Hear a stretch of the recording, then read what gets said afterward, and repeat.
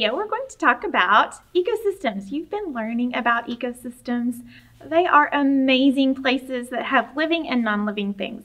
Remember, living things are biotic and non-living things are abiotic. Let's talk about the levels of organization within an ecosystem. We have the smallest level, which is the organism. That is like you. You are an organism. You're the smallest. You're one species. You're an individual. Now let's talk about this cute little prairie dog. He's an organism. He's lonely though, guys. He needs some buddies. So let's give him a population. Now there's a group of prairie dogs. We call that a population. A population is a group of organisms of the same species. So that would be you and your family and your neighbors. That is a population. Now, do prairie dogs live by themselves? Just prairie dogs? No, of course not. They live with other animals, and we call that a community. Those are different species of organisms living together. Within your neighborhood, you might have trees, you might have a garden, you might have a cat, you might have a dog. That is your, all of those together are your community. Beyond that community, we have what we call the ecosystem, and that's what you've been studying. An ecosystem, if you remember, includes living or biotic and non-living or abiotic factors. So for example, in your neighborhood, you might have, you have a house.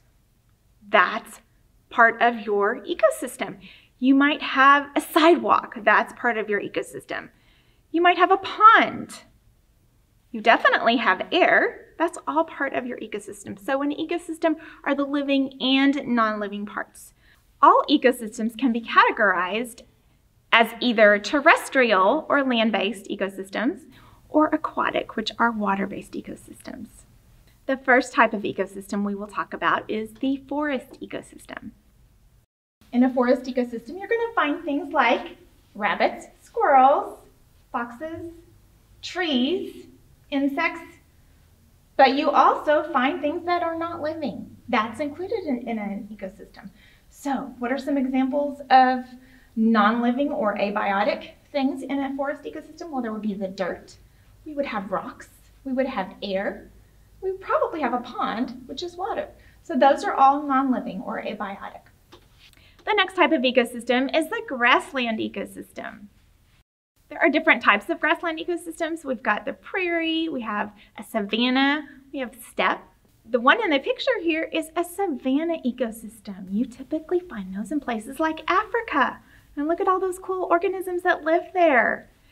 Within this savanna, we have living and non-living things. So we have the ostrich, and we have the tiger, and we have the vulture. But we also have non-living things. We have the dirt, we have air, we have water, even though we don't see any there. They're, they have to have water to survive. The next type of ecosystem is the desert ecosystem. And believe it or not, the desert ecosystem doesn't always have to be hot, but it will definitely be dry. You're going to see less vegetation, probably a lot more abiotic things. A lot more dirt, sand, rocks, but there are biotic factors there. There are snakes, there are lizards, there are cactus. There are some flowers, believe it or not. So the next time you travel, let's say to West Texas, you're not gonna see a lot of grass or a lot of trees, but you will see a lot of dirt, and that is a desert ecosystem. The next type of ecosystem is the tundra. The tundra is cold and harsh, and those are typically the polar regions of our Earth. There's often glaciers, there's very little vegetation because it is so cold and there's very little dirt, so things can't grow very easily. But there are animals that can survive there. Cute little penguins, like in this picture. Polar bears, walruses, snowshoe hares. Different types of animals do thrive in these environments. Now let's talk about the aquatic ecosystems. There are two types of those. We have the freshwater ecosystem, those are rivers and lakes and streams and ponds and even marshes. There are all kinds of organisms that thrive in that fresh water. Now, water we know is abiotic, but so many things live within that abiotic ecosystem. We've got algae, we've got water plants, we've got fish, we've got insects, we've got all kinds of little creatures, bacteria even, that grow within that water, that thrive in that fresh water. And the last and most abundant ecosystem in the world is the marine ecosystem. It's also an aquatic ecosystem, and there are so many beautiful species that live in this ecosystem. A marine ecosystem is different from a freshwater ecosystem because it is a saltwater ecosystem. So if you've ever been to the beach and you've gotten salt water in your mouth, you know it tastes very different than the tap water you drink. There are beautiful, colorful fish, octopus, whales, dolphins, coral, sea anemone, starfish. There are even tiny little organisms called plankton, and there's even plankton that need light, and they're called phytoplankton. They make their own food.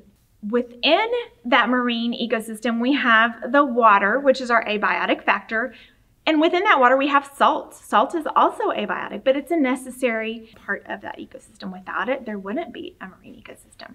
Now, let's talk about my favorite place. My favorite place to visit growing up was Yellowstone National Park, which is right here. Yellowstone is a beautiful place. It has at least three different types of ecosystems. There is forest ecosystem, there are freshwater ecosystems because there are lakes and rivers. There are also grasslands where buffalo roam. So the next time you travel, think about what type of ecosystem you are visiting. Maybe you have a favorite ecosystem like I do.